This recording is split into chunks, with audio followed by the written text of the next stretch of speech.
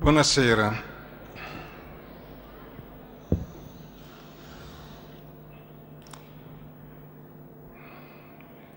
Come sapete il 30 maggio Don Francesco è morto. Il meeting che a Don Francesco deve moltissimo. Questa sera ci vuole mettere di fronte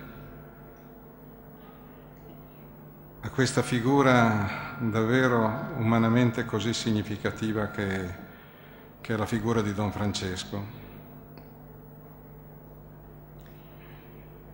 Ma non appena per coltivare dei ricordi, ma perché proprio attraverso la sua testimonianza ognuno di noi possa affidarsi a quei segni vivi di una presenza perché questo è davvero il lavoro che ridà alla vita, alla vita continuamente un moto in più di verità. E la vita di Don Francesco è stata una segnalazione viva di questa presenza.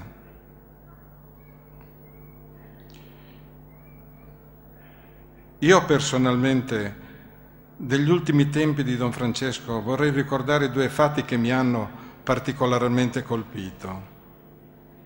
Innanzitutto, il clima di quella settica cameretta d'ospedale in cui si avvertiva invece decisamente una serenità, una consapevolezza, un'affabilità, direi quasi un luogo di lavoro che comunicava in maniera estremamente evidente lo spessore di quell'offro che Don Francesco personalmente ridiceva al Signore nel cuore diverse diverse volte al giorno nella sua giornata.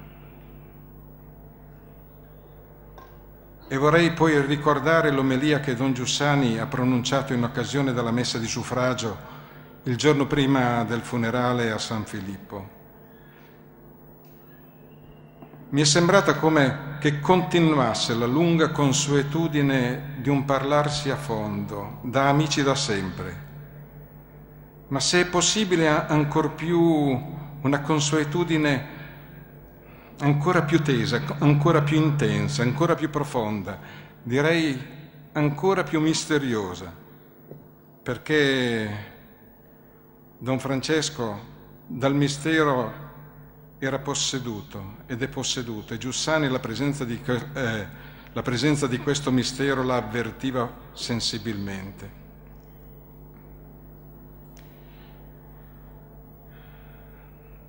Questa sera vogliamo come recuperare le impronte di questa presenza sparse nel mondo, proprio letteralmente nel mondo, proprio perché l'ambito in cui viveva Don Francesco era il mondo, perché i suoi viaggi, le parole, le iniziative, i rapporti, le comunità sparse nel mondo sono come le impronte di questa presenza.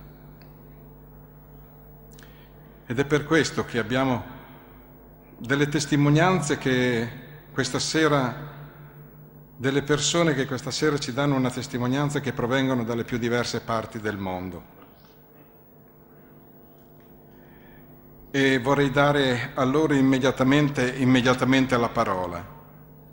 Incomincia il professor Grigiel, polacco, attualmente docente di antropologia filosofica all'Istituto Giovanni Paolo II presso l'Università Lateranense ed è membro consultore del Pontificio Consiglio per la Famiglia.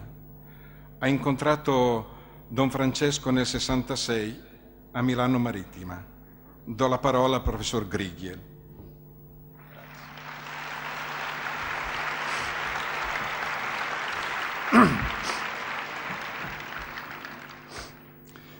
Carissimi amici, Cyprian Kamil Norwid, forse il più grande poeta polacco, descrisse così ciò che aveva vissuto durante la visita al suo amico morente Frédéric Chopin. Fui da te in quei penultimi giorni d'impenetrabile trama colmi come il mito, pallidi come l'alba, quando la fine della vita sussurra all'inizio, non ti lacererò, no, io ti darò rilievo. Con queste parole di Cyprian Kamil Norvit, le cui molte poesie sono apparse in Italia proprio grazie a Don Francesco Ricci, che si era innamorato della bellezza e della profondità del pensiero di questo poeta, si accomiatano da lui gli europei centro-orientali. I suoi penultimi giorni sono stati d'impenetrabile trama, colmi come il mito, pallidi come l'alba. Veniva in quei paesi riprendendo l'antico sentiero dell'Ambra. Non veniva però come un commerciante di opinioni e teorie occidentali che indicano come usare la realtà, ma come un uomo di ultimi e di primi principi che ci chiamano ad amarla, ad esistere cioè secondo la sua verità. Egli è stato un uomo giusto, è vissuto rendendo giustizia a ciò che è nella prospettiva di come tutto dovrebbe essere. Proprio per questo fu costretto a scendere nella clandestinità con tanti abitanti di entrambe le parti dell'Europa. Sì, diciamolo sinceramente, i testi pubblicati dal Xeo, fondato da Don Ricci, funzionavano anche qui, in Occidente, come il cosiddetto samizdat nel mondo orientale. Il suo primo viaggio in Polonia, fatto insieme con il compianto Antonio Setola, è stato un'avventura dalle conseguenze, in quei tempi, difficilmente prevedibili. In questi viaggi, o piuttosto in questi pellegrinaggi, come d'altronde nella sua vita quotidiana, Francesco Ricci si è rivelato come uomo mandato agli altri. Egli era missione, cioè persona. Se l'umanità consiste nell'essere mandato, cioè essere dato agli altri, Don Francesco è stato una epifania di essa. Sempre perfino in quei penultimi giorni, pensava non a sé, ma agli altri. Proprio per questo egli era se stesso. Questa abitudine di essere se stesso gli ha reso più facile ricevere la grazia di pensare nell'ultimo giorno a Cristo. Perciò siamo sicuri che Egli, non avendo più nulla, è già colui che è pienamente se stesso nel Dio di Abramo, Dio di Isacco, Dio di Giacobbe. Nel roveto chiamato Francesco arde Dio e arde sempre di più. I paesi come la Polonia, la Cecoslovacchia, l'Ungheria gli rimarranno debitori per il prezioso lavoro, le cui tracce, rimaste nei suoi scritti, ed ancora di più lasciate dalla sua presenza negli uomini di cultura, saranno per noi tutti di grande aiuto nel ricercare le strade dimenticate verso l'Europa di San Benedetto, dei santi Cirillo e Metodio e di San Adalberto. La sua presenza ci rincuorava e ci liberava dai confini di filo spinato in ogni senso del termine. Francesco rompeva l'isolamento che non ci permetteva di vivere nella comunione delle persone. Apriva l'uomo all'altro uomo, la famiglia all'altra famiglia, la nazione alle altre nazioni. Facendo questa politica dell'amore, creando cioè la cultura, egli rompeva perfino le conseguenze dell'alleanza forzata ed artificiale tra l'Unione Sovietica e i paesi dell'Occidente. Le rompeva vivendo l'Europa come essa è nel suo principio e che oggi emerge davanti a noi come compito che esige lavoro e sacrifici. Essa lo chiamava già trent'anni fa. Ogni compito di creare qualcosa, ponendoci davanti al principio della realtà da compiere, ci chiama ad una azione per l'avvenimento in cui questa realtà comincia e si compie. Francesco Ricci ne era pienamente cosciente ed è ciò che ha unito la sua azione a quella del cardinale Wojtyła, divenuto poi Giovanni Paolo II, cercando il principio di tutto ciò che accadeva nella sua vita. Don Ricci ha vissuto il suo essere se stesso in sintonia con l'essere se stesso di questo Papa, sintonia che non ha avuto bisogno di dichiarazioni d'amore, era una cosa di per sé ovvia.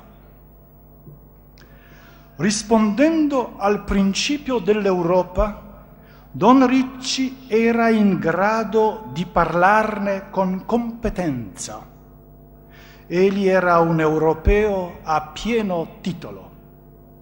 Con una simile competenza poteva parlare del cristianesimo e della fede cristiana e in fin dei conti dell'uomo. Egli era uomo, egli era cristiano. Quando lo vidi la prima volta nel 1966 a Milano Marittima, durante un incontro con gli studenti, pensai a Don Quixote, a causa non solo della sua altezza, ma anche del suo lottare per le cose lontane.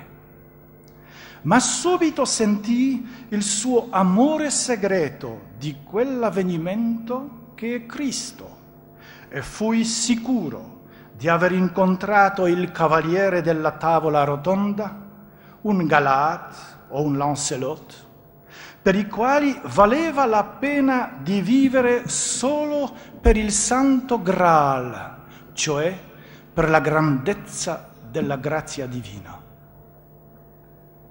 Andava nei nostri paesi con le vele alzate, cercandovi il vento favorevole che lo portasse, per dirla con Socrate, verso le isole della felicità sognate da lui.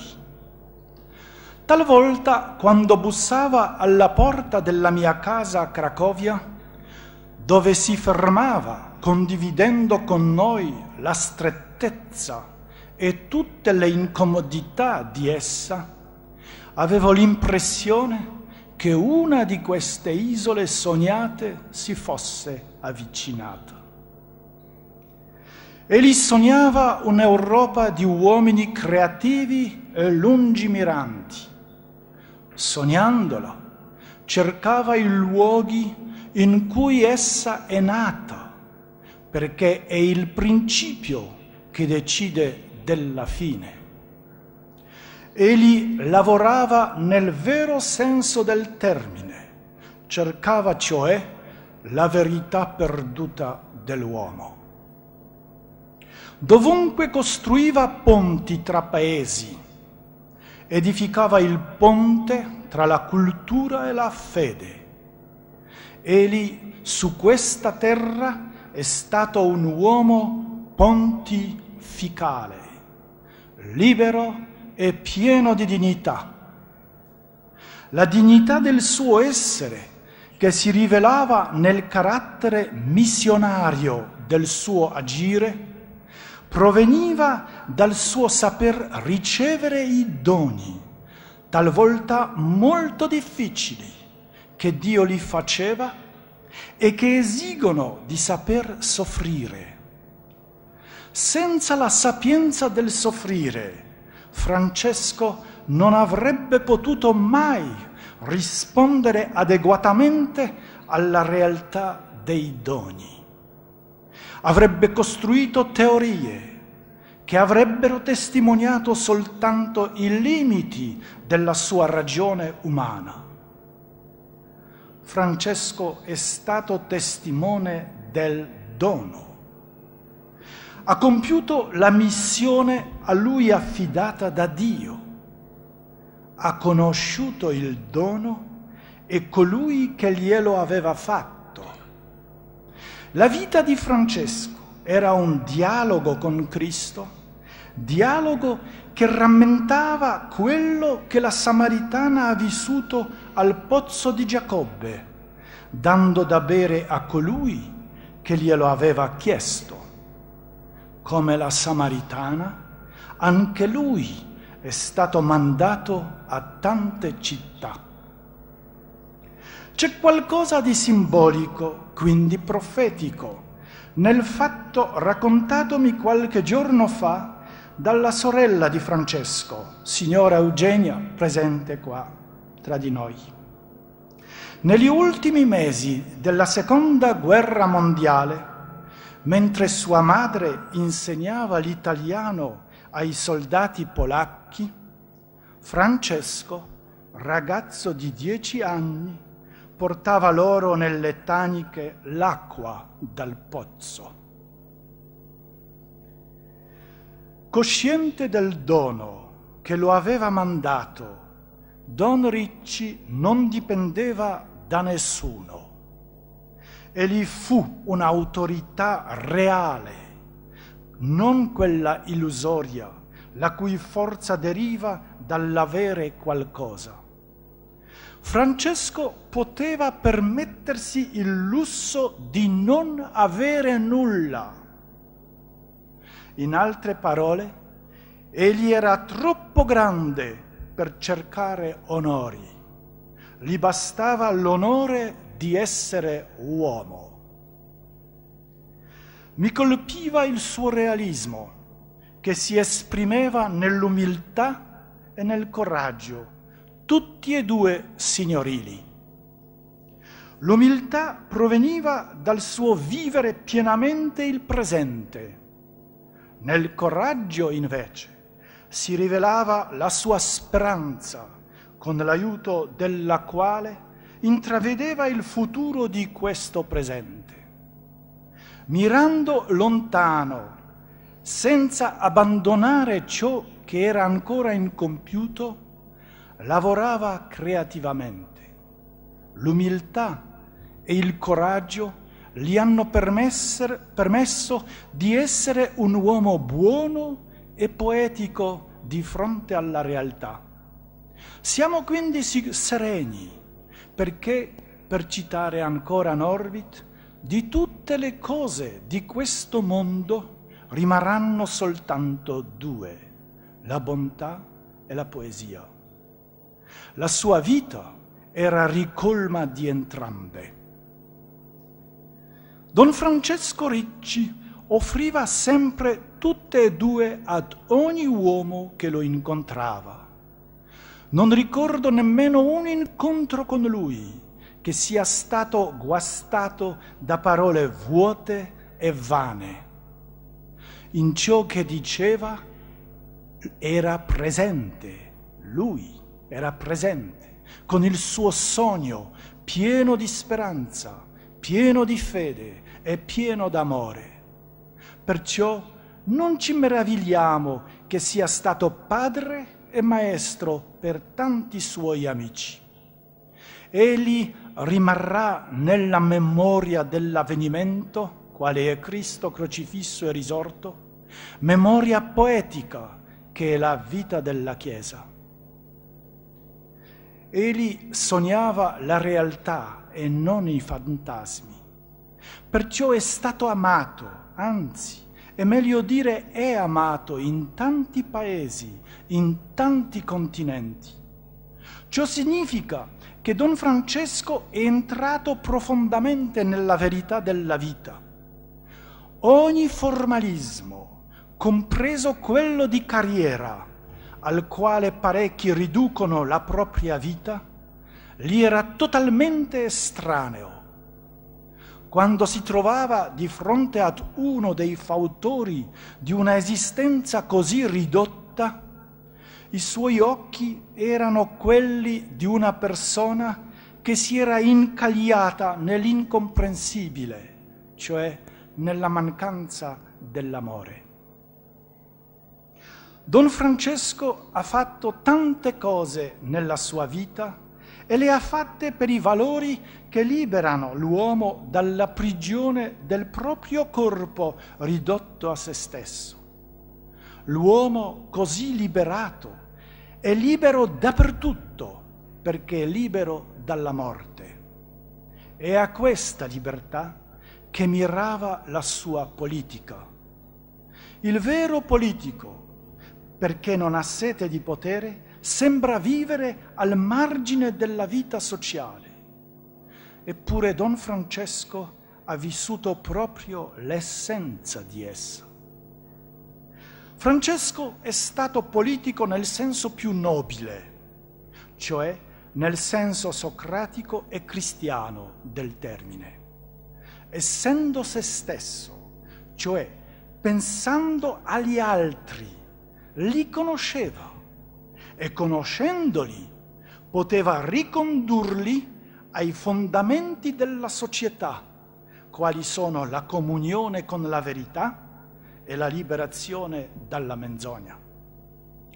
E nel ricondurre gli uomini a questi fondamenti che consiste l'ars gubernandi colui che non ha imparato questa arte di governare realizza una politica che chiamerei ars devastandi. Da una tale comunione con lui, da una tale arte di governare, è nata la rivista Il Nuovo Areopago. Essa si appoggiava su di lui. Don Ricci continuerà a sostenerla. Perciò non gli diciamo ancora grazie. Credo che sarebbe troppo presto esonerarlo dai nostri doveri comuni. La sua politica di ricevere i doni e di farli, o meglio, di esserli, proprio in questi giorni può aiutarci a liberare l'Europa dalla minaccia del fare politico privo dell'amore e della conoscenza dell'uomo. Il suo ultimo libro, Cronache d'Europa perdute e ritrovate, dovrebbe essere donato a tutti coloro che cercano non una teoria sull'Europa, ma l'Europa. Sia in Polonia sia negli altri paesi che la stupida malizia dei comunisti devastava impietosamente, Don Ricci aveva stretto amicizia con tanti intellettuali e con tanti uomini di cultura che hanno contribuito a smascherare la menzogna illuministica. Sapeva trovarli nella loro solitudine ed intravedere il futuro che essi creavano con l'aiuto della parola libera, cioè legata alla verità, nonostante vivessero persino nella mancanza della libertà della parola. È lui che ha presentato ai lettori italiani Havel, Mazowiecki, Sviergina, Miłosz, Patoczka e tanti altri, quando i loro nomi ancora non erano un business. È lui che li ha fatti conoscere l'un l'altro malgrado le frontiere di filo spinato, raccontando in un paese ciò che aveva visto in un altro. Tale è stata la sua politica, quel servizio divino, per usare l'espressione di Socrate, servizio di cui poco o nulla era più prezioso negli stati totalitari. Don Francesco è rinato nel giorno dell'Eucaristia.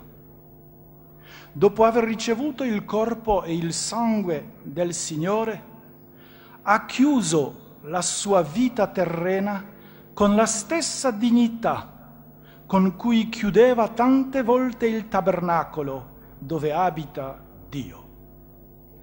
Ma essendo in Dio, verso il quale egli è esistito, è rimasto in tutti coloro per i quali egli è vissuto. Ringraziamo Dio per la vita di Francesco e per la sua morte, in cui albeggiò il compimento del suo ricevere il dono. Della vita e del suo ultimo atto, quale è la morte, Don Francesco Ricci, accettando la grazia, è riuscito a fare una epifania del Padre ed è ciò che costituisce l'essenza stessa della sua missione, vale a dire del suo essere se stesso, cioè del suo essere persona umana.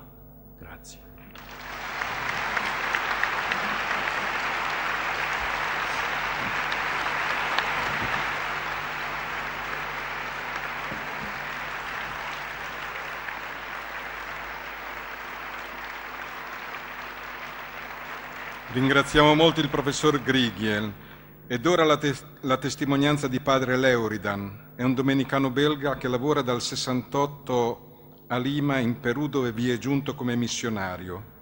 È responsabile nazionale del Movimento di Comunione e Liberazione e ha incontrato Ricci appena, appena tre anni fa. Queridos amigos, cari amici,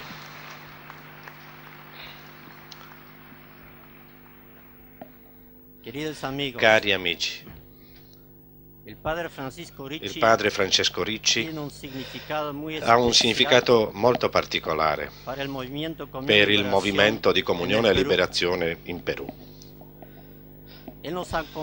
Egli ci ha accompagnato nei primi anni con le sue visite periodiche al nostro paese senza dubbio questa presenza è stata per noi determinante. Ci si è presentato come un amico e come un missionario. I molti che hanno potuto conoscerlo si sono sentiti tutti i suoi amici personali. Un uomo di così vasta cultura è stato capace di ascoltare e conversare anche con le persone più umili. Per tutti aveva parole di incoraggiamento. La sua presenza era una presenza che faceva rinascere e rivivere le persone. La sua allegria ci commuoveva. Il padre Francesco Ricci era un autentico missionario. Era venuto per annunciare il Cristo, Le sue conferenze non erano propaganda a buon mercato di comunione e liberazione. Non ci parlava di quanto grande fosse ciò che aveva realizzato o stava per fare in Italia o in altri paesi comunione e liberazione. Gli importava invece comunicarci l'accadimento del grande mistero. Non era un ripetitore di formule e termini imparati a memoria. No, invece ha espresso con tutta e sola la forza della sua intelligenza e personalità il carisma di comunione e liberazione. Non, non, dava ricette facili, ma invitava con la estensione del suo spirito e la grandezza del suo cuore. a prendere parte alla storia nuova iniziata dentro di noi con la presenza di Cristo. Non era un vigilante di una verità senza vita apriva invece una strada nuova verso una vita più piena, in cui la verità faceva vibrare le persone attraverso la grandezza dell'evento che si stava producendo nella sua esistenza. L'autenticità della vita missionaria di Don Francesco si manifestava inoltre nel suo profondo rispetto per le persone e le culture. Non ha mai posto condizioni o preteso qualcosa per sé. Mi azzarderei a chiamarlo un San Paolo del secolo XX, ebreo con gli ebrei, greco con i greci, barbaro con i barbari e giapponese con i giapponesi.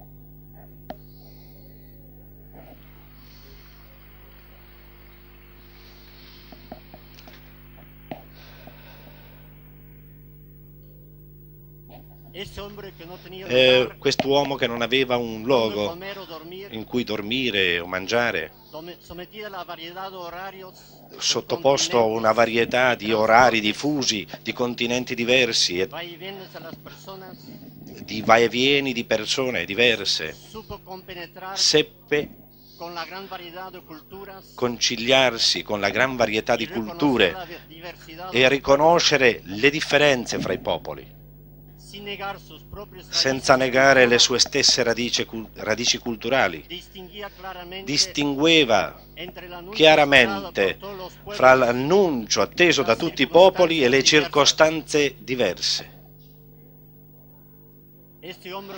Quest'uomo colto, dotato di un'acuta intelligenza, avido nel conoscere le ultime notizie, i progressi della scienza e della tecnologia, la problematica di tutti i popoli, lettore della grande filosofia, era un sacerdote che viveva il suo sacerdozio in tutte le dimensioni sacramentali, evangeliche e pastorali. Il suo interesse nell'approfondire e discutere le conoscenze restava arricchito dall'intelligenza attraverso il miracolo dell'incontro con la gente, anche la più semplice, che rendeva possibile l'appartenenza al grande mistero. Il padre Francesco Ricci faceva crescere gli altri. Speriamo che ci accompagni nella via del carisma che la sua lealtà a Don Giussani sia per noi una ispirazione permanente del primo e più importante compagno. Grazie.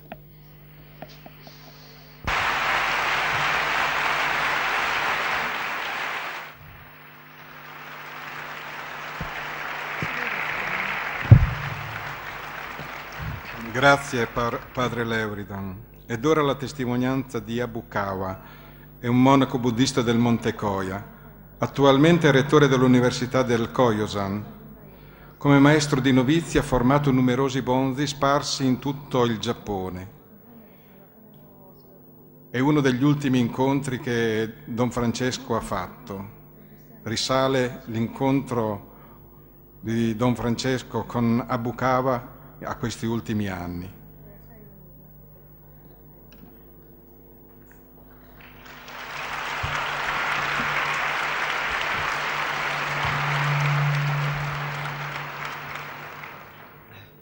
高野山大学から参りました羽生川でございます謹んでドン・リッチのご霊前に追悼の言葉を述べたいと存じます Buonasera, io sono Shodo Habukawa, vice rettore dell'Università del Monte Koya. Voglio cominciare il nostro intervento ringraziando Don Ricci.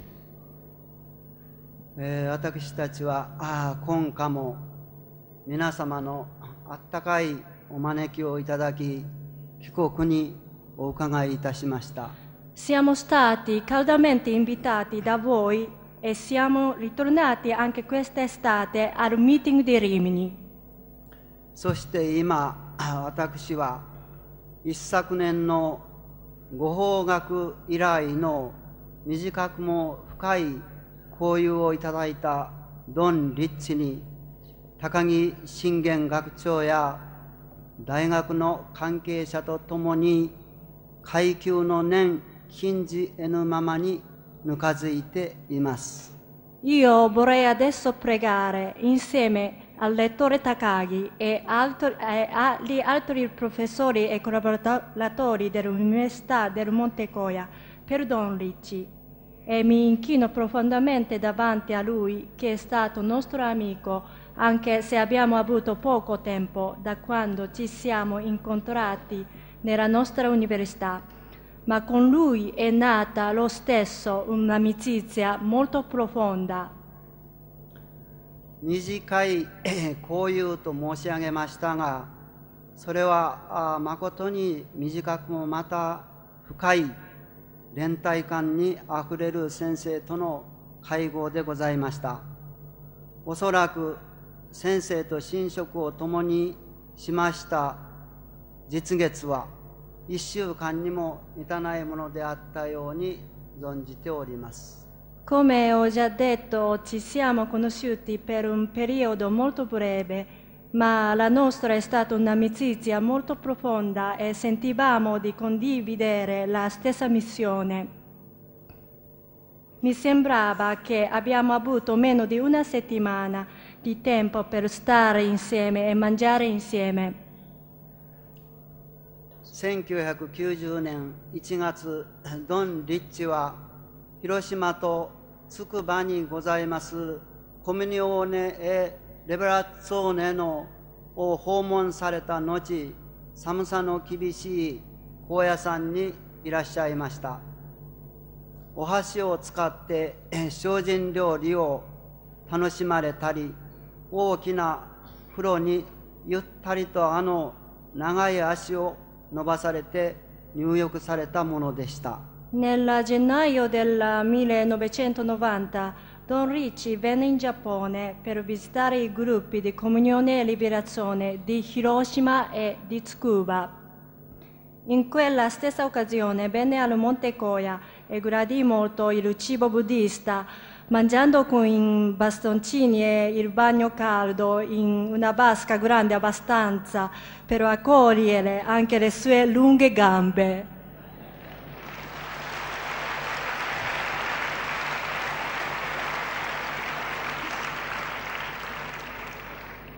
その翌日高野山大学で人間の心の内容にある幸せへの欲求についての講演をなされ長考の学生や教授に深い感銘を与えてくださいました、えー、先生のお考えをより深く理解したいとする多くの者からの質問が絶えなかったのです。Il giorno seguente egli tenne una lezione in università intitolata Il desiderio di felicità che esiste nel profondo di ogni uomo. Gli studenti e i professori furono molto colpiti dalla sua lezione e non finivano più di fare domande perché volevamo capire meglio la sua posi- eh, posizione. ご慰労にとご案内申し上げた京都仁和寺境内の 小雪舞う景色を眺めながらお寺で振る舞われた日本酒に体を温めたことも今は懐かしい思い出となりました。Dopo siamo andati nel tempio Ninnaji a Kyoto, mentre eh, guardavamo la, le neve che cadeva a piccoli fiocchi. Abbiamo bevuto del sake giapponese. Ricordo ancora con nostalgia questo episodio. キリスト教であれ、仏教であれ、同じ真理を追求する者同士の深い友情と連帯感を感じずにはいられませんでした。Ci sembrava che qualunque fosse il nostro credo religioso, chi cristiano e chi buddista, noi stavamo per, percorrendo la stessa strada cercando la verità. 昨年1月、私どもの大学で講演をいただいて間もなく、先生は病床に横たわる身となられたことを承りました。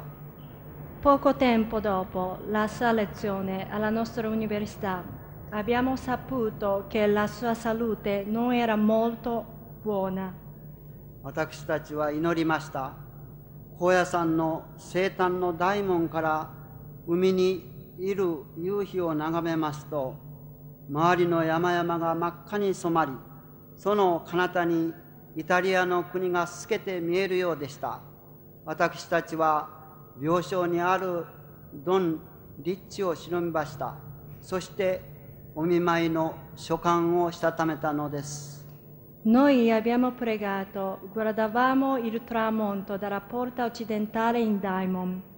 Il sole scendeva nel mare, vestendo le montagne con una velatura di rosso e in lontananza su questo schermo pittoresco era come se vedessimo l'Italia Pensavamo Don Ricci nel suo letto e pregavamo.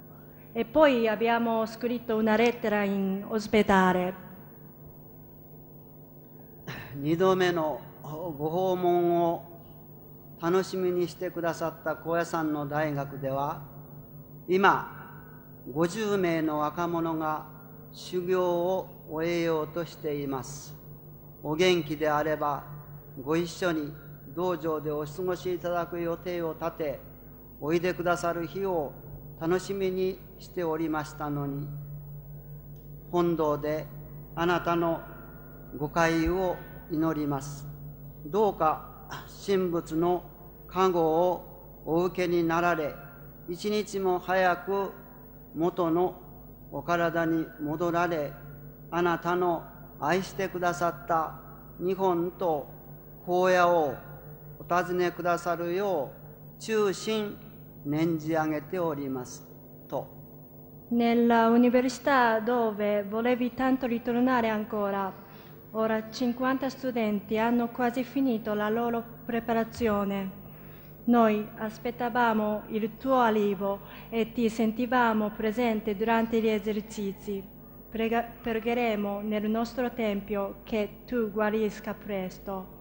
Ti preghiamo di accettare che sia fatta la volontà divina e speriamo che presto tu guarisca e grando di ritornare in Giappone e a Monte Koya che hai molto amato.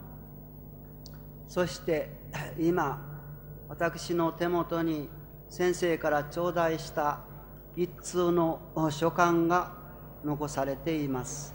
それは本年4月8日付のものでおそらく先生のご病状が悪化せられてからのものと推察いたします。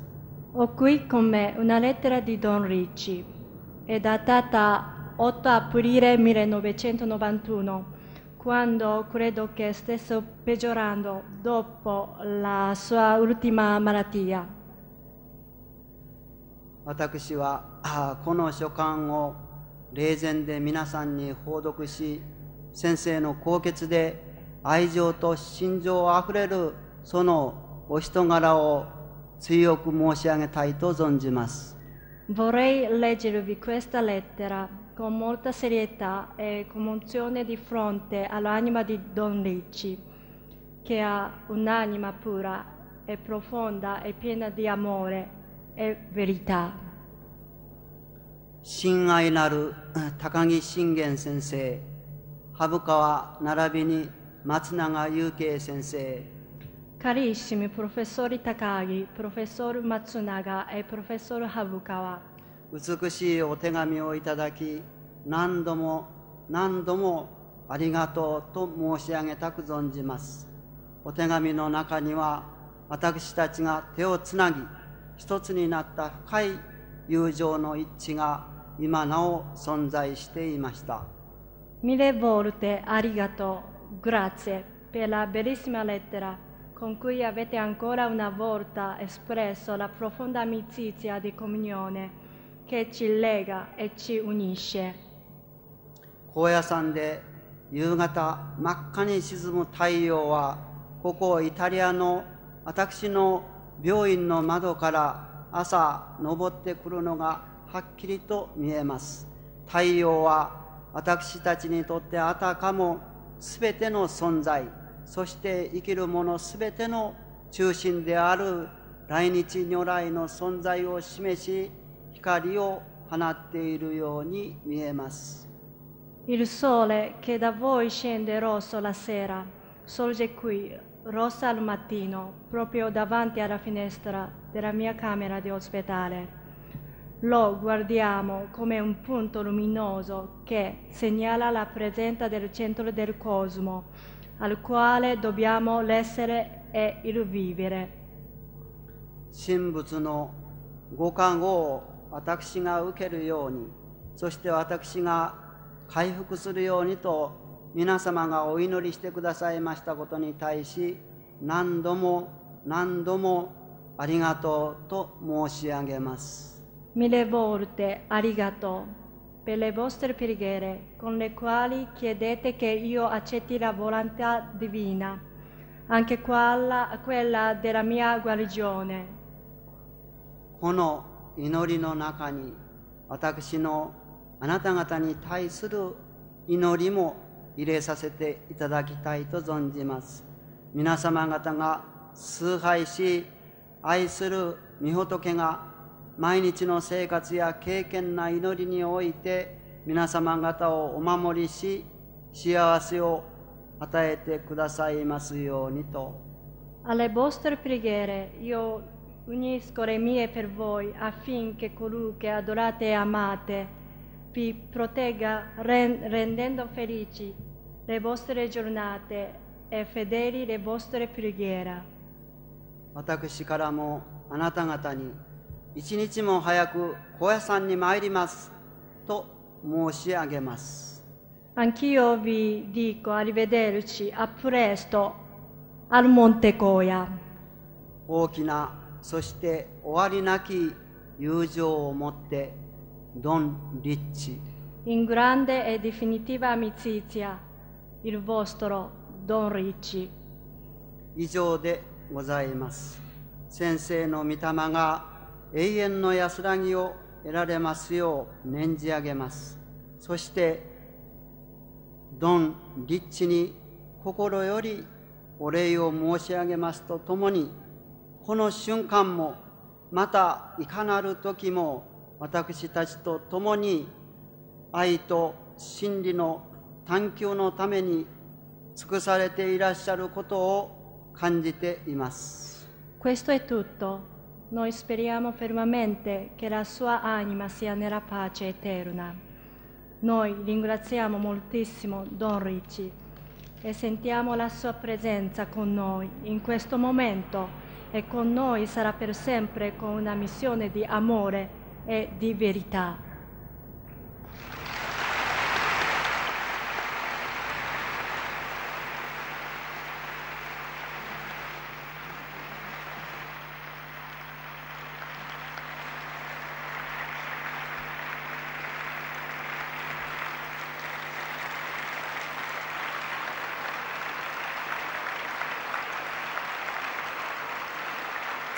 Grazie. E infine padre Tiboni, Combognano, missionario in Uganda dal 70 e ha vissuto tutte le peripezie di quel paese. Ha incontrato Comunione e Liberazione nel, nel 75 eppure in quegli anni ha incontrato Don Ricci.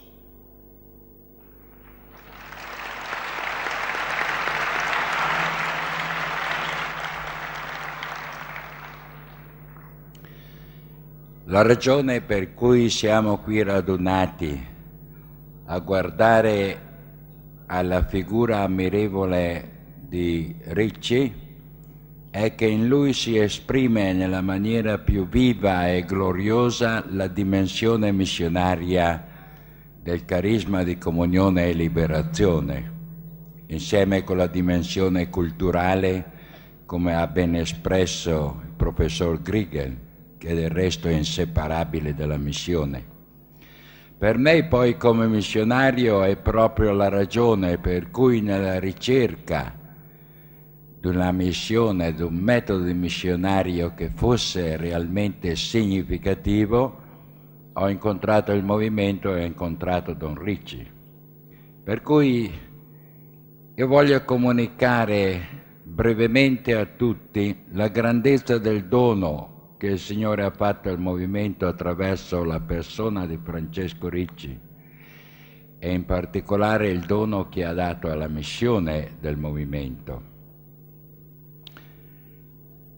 Nei primi anni, cioè negli anni 50, Ricci era cappellano dell'azione cattolica e incontrò Don Giussani a Roma in quel momento lui stava cercando qualcosa che potesse essere veramente significativo per la vita degli studenti di cui stava occupandosi e ha incontrato in, in Don Luigi Giossani ciò che cercava.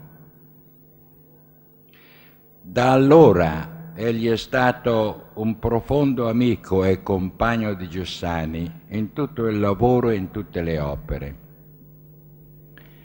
Io quando lo incontravo lo chiamavo missionario dei cinque mondi, ricordando Garibaldi che è solo l'eroe dei due mondi, ma l'essere missionario è una cosa diversa, perché lui viveva a Forlì, in Romagna, che è forse e anche certamente la parte più rossa dell'Italia e di tutto il mondo, dove il comunismo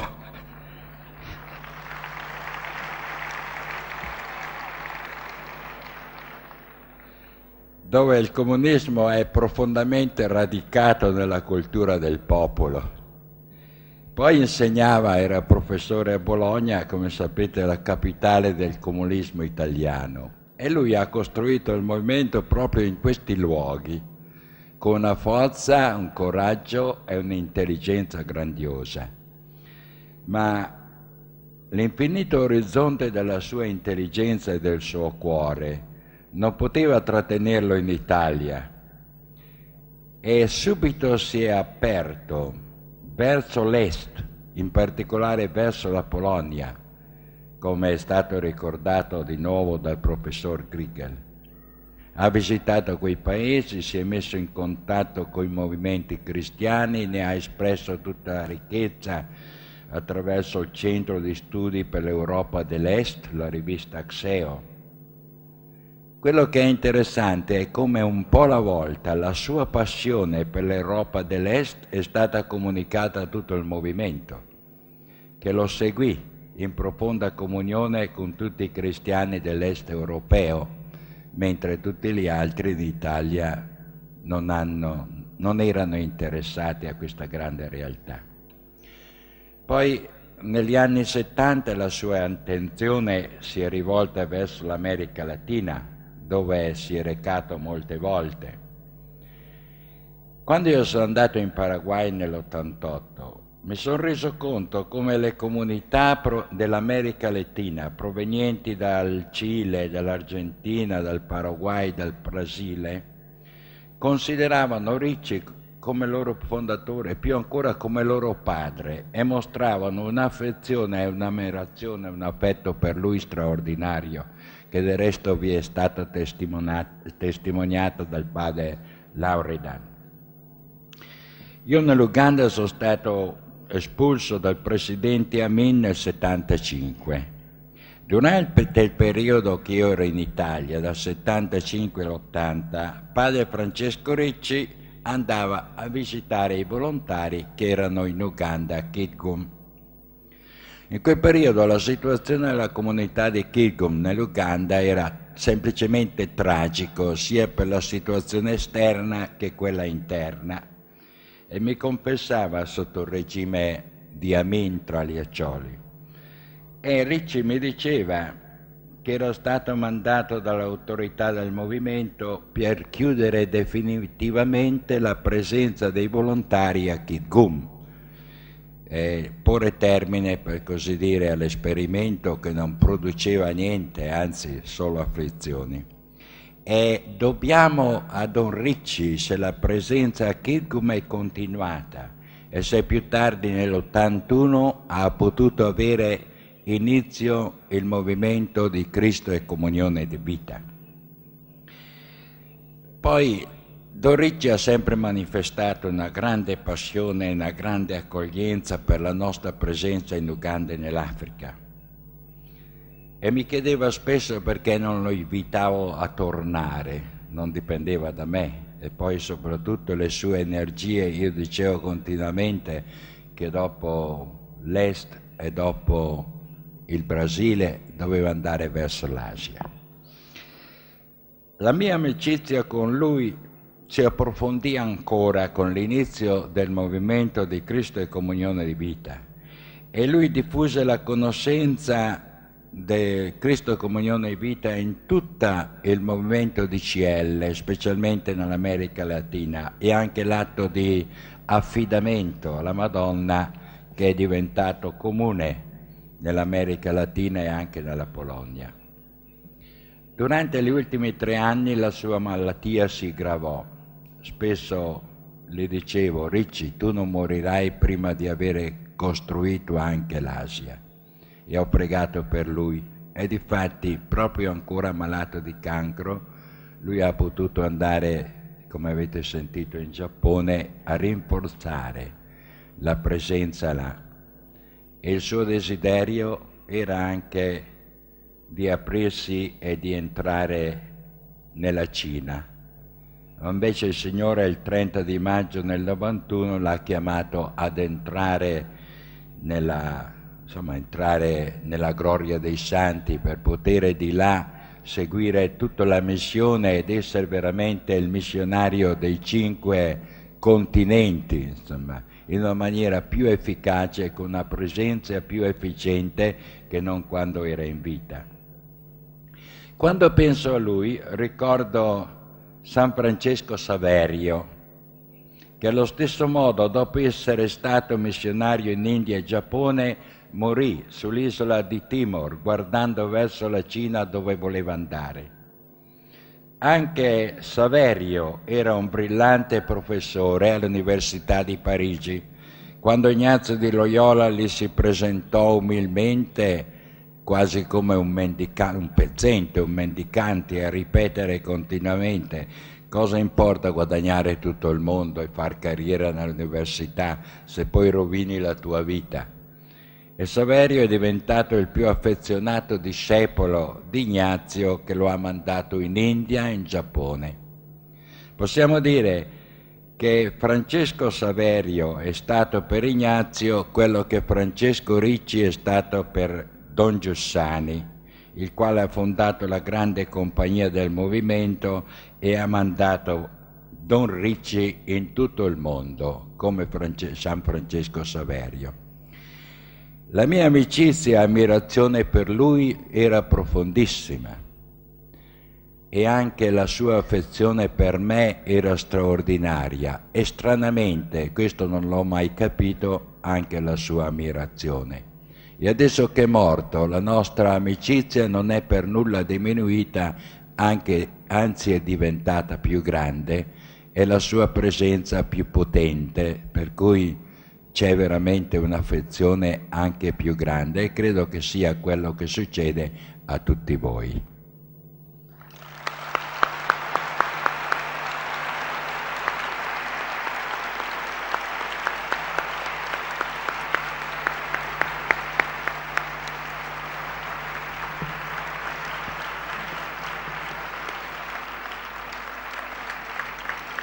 Ecco, questa è la memoria viva e commossa che abbiamo di Don Francesco.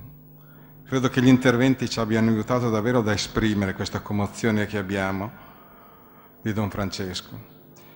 Il meeting vuole continuare col suo contributo perché queste orme sparse nel mondo da Don Francesco di una presenza non si cancellino, anzi si estendono davvero, dico, fino a a tutti i luoghi della terra, fino ai confini della terra, così come proprio nella sua, com'era la, la passione che Don Francesco, Don Francesco aveva, lo spasimo che Don Francesco aveva, proprio che l'avvenimento di Cristo fosse conosciuto, l'avvenimento di Cristo si estendesse davvero di a tutti i popoli del mondo.